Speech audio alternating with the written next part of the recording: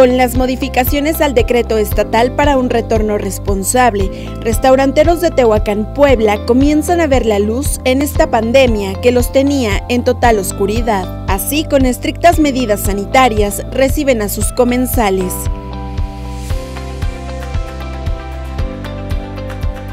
Para Alfredo, lo más importante es garantizar la seguridad sanitaria de sus clientes y empleados, el motor de su negocio por ello ve con buenos ojos invertir en esquemas de sanitización de calidad. Mira, principalmente, una, nos cuidamos nosotros, primero.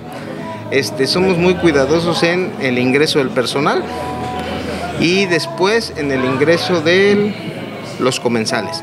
Desde la cámara, desde el túnel sanitizante, obviamente tenemos todos los cubiertos embolsados, este, desinfectados, en la cocina tenemos ahí un triángulo de bioseguridad con el que contamos para la salida de los, de los platillos, tanto ya el, cuando los regresan una vez que regresan los platos sucios, antes de que los toque nuestro personal, se desinfectan. Incluso de acuerdo a la Canirac Delegación Tehuacán, el apego a los protocolos de bioseguridad, tanto en cocina como en mesa, ha permitido que el sector haya registrado contagios de coronavirus en apenas el 4% de sus integrantes.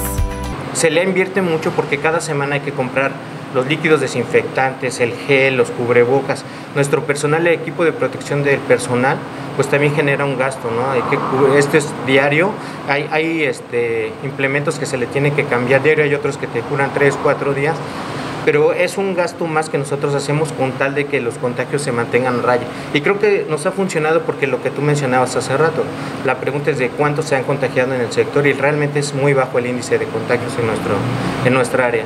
Adaptados a la nueva normalidad, ahora el reto de la industria restaurantera de Tehuacán es hacer frente al alza de precios en el pan, la tortilla y la gasolina Proyectan que en un año puedan recuperar sus ventas al 100%, mientras tanto piden apoyar lo establecido.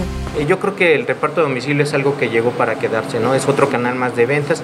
Las aplicaciones que por lo menos en Tehuacán no son tan fuertes, pero creo que en el en Puebla capital sí sí este tienen más impacto. Aquí tenemos más este servicios de reparto en moto, entonces cada uno maneja de, manera individual el reparto de domicilio.